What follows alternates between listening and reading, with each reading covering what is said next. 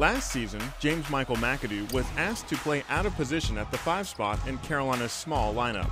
The position took some adjustment time for the 6'9 forward, but the Tar Heels had their most successful run of the season during that stretch. This season, McAdoo is faced with another position challenge, learning the three spot on the wing. I think it's definitely, you know, a whole nother um, different, you know, set of challenges. Um, you know, I do slide to that three spot, but it's something that I'm a lot more comfortable with, I would say, than playing the five spot just because I like, you know, being on the perimeter.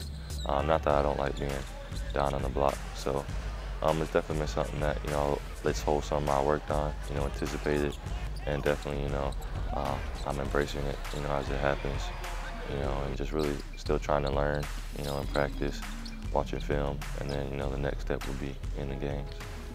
The junior from Norfolk, Virginia spent a lot of time this offseason working on his ball handling to cut down on turnovers and aid in his move to the wing. While McAdoo still anticipates spending most of his time at the four, he thinks the transition to the three is going well. I feel great. You know, um, the coaching staff and my teammates have helped me a lot, you know, on the plays, sets, where to be.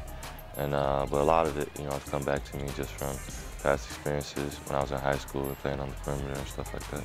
I feel like also playing at the three spot has really um, made me uh, enjoy playing the fourth spot a lot more and uh, actually got me a lot more comfortable there, knowing that I can switch positions and, you know, play three, four, and five. McAdoo's position flexibility this season will allow Carolina to utilize its front court depth. The addition of freshmen Kennedy Meeks and Isaiah Hicks, along with the development of Joel James, Brice Johnson, Desmond Hubert, and Jackson Simmons, should give Roy Williams the option of going with a much bigger lineup than last year. I think that's huge, especially with coach, you know, and us wanting to be, you know, going back to the typical North Carolina basketball um, with two bigs, but, you know, definitely going a little bit bigger.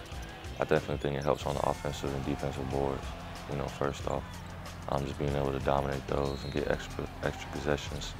Um, and then just being able to punish teams inside, get them in foul trouble.